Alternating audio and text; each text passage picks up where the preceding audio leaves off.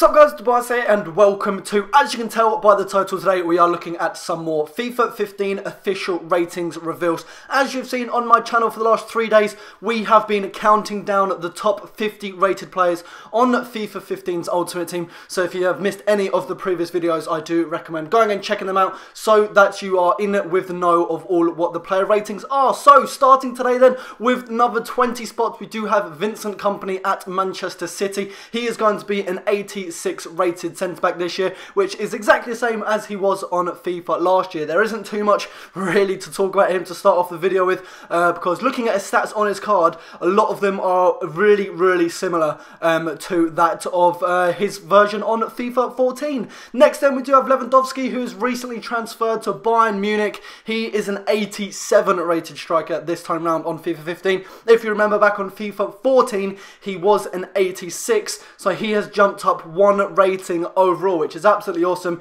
The Bundesliga squad you're going to be able to make on FIFA 15, especially with the strikers and the defensive they do have, is it's going to be absolutely insane.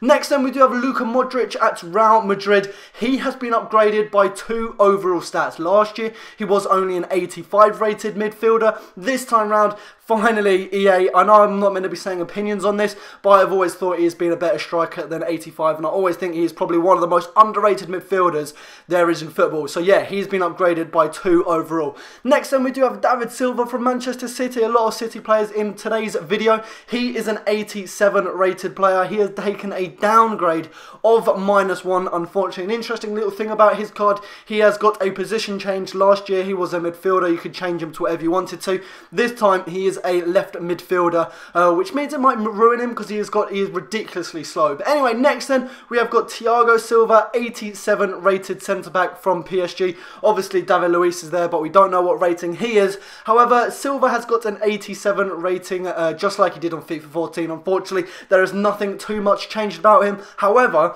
his physical and his defending are ridiculously high. 90 defending and 80 physical. He is going to be an absolute monster. Next then we do have Sergio Ramos from Real Madrid.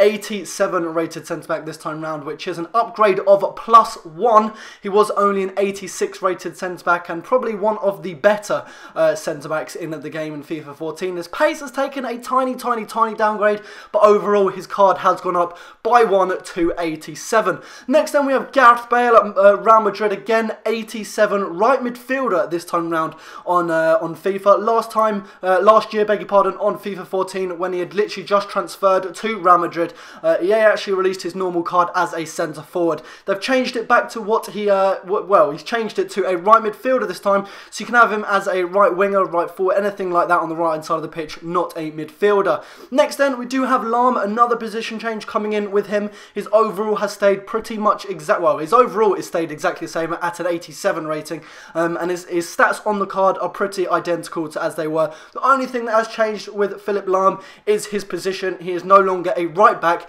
and his standard card is going to come as a centre defensive midfielder. Next, then we do have Falcao, who has recently transferred to Manchester United. He has taken a downgrade of minus two, which uh, is unfortunate, uh, but he has had a couple of injuries recently, so he is an 88 opposed to a 90 rated striker, which he was on FIFA FIFA 14. Uh, so yeah, no more 90 rating for Falcao. Finally then, we have Robin Van Persie. So the two highest rated players in today's video are both Manchester United players. Van Persie is an 88 rated overall player on this year's FIFA and FIFA 15. Last year, if you remember, he was an 89. Uh, so just like a couple of the other players that we have seen in today's video, he has taken a downgrade of minus one. But anyway, that is going to wrap up the video. They are the number 20 down to number 11. Tomorrow I'll be posting a video with the top 10 highest rated players on FIFA 15. Let me know in the comments who do you think are going to be in the top 10 and if there are any ratings or changes to players that you have seen in this video which you think uh, are surprising or don't deserve it then please do let me know in the comments because I'm always really interested to hear what you guys have to say about the ratings that EA have given the players this year on FIFA 15. And until my next one, I'll be speaking to you guys later. Take care.